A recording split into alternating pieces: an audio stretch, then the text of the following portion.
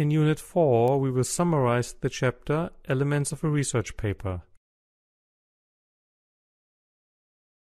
After this chapter, you should keep in mind the following lessons. We addressed the four sections of a research paper and the corresponding mandatory or optional structural elements. The Addments section with the cover page, the abstract, the foreword, the preface, and the dedication. The directory section with the outline, list of figures and or tables, the list of abbreviations, the list of court decisions, the list of symbols, and the list of formulas. The main body,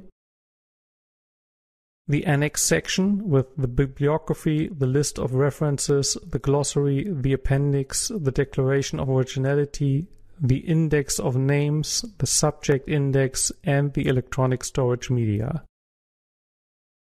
Furthermore, we addressed some specific problem areas, the implications of decadal and alphanumerical numbering systems, the aspects of incomplete structuring, illogical structuring, and intermediate text, the prerequisites of structured bibliographies or list of references, and the implications of plagiarism.